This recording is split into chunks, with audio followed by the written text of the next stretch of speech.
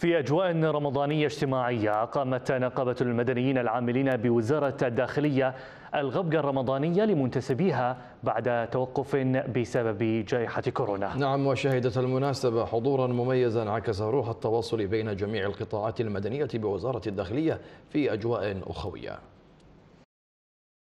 بحضور كبير وبأجواء رمضانية اجتماعية جسدت روح الأسرة الواحدة لمختلف القطاعات المدنية بوزارة الداخلية.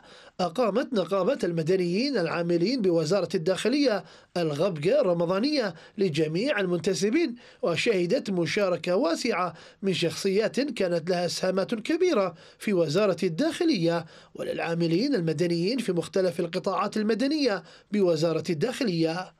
نقابة مدينة الداخلية آه، الغبقة الأولى بعد آه، جائحة كورونا وبعد تشوف الحضور الطيب. فالحمد لله على كل حال. أنت عارف طبعا المدينة الداخلية يعني بكل مكان آه، العسكري والمدني الحمد لله.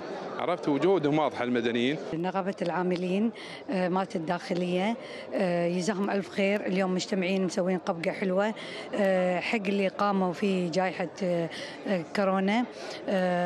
فهذا شرف كبير إن هم يقدرونهم في قبقه ويقولون لهم تعالوا حياكم الله.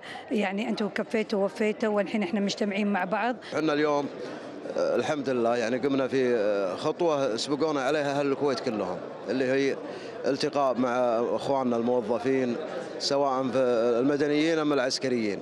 والحمد لله مثل ما انت شايف وهذه يعني من الخطوات طال عمرك الإيجابية اللي إن شاء الله دائما إحنا نحرص عليها بالنقابة.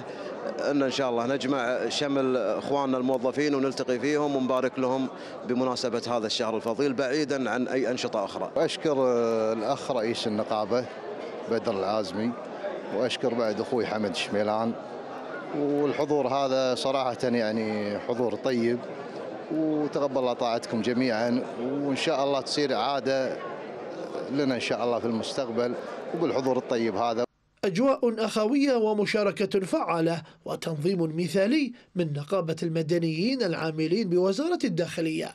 جسدت مد جسور التواصل ما بين مختلف القطاعات وتعميق الروابط الاجتماعية لكل منتسبي القطاعات المدنية بوزارة الداخلية. راد شمري لتلفزيون دولة الكويت.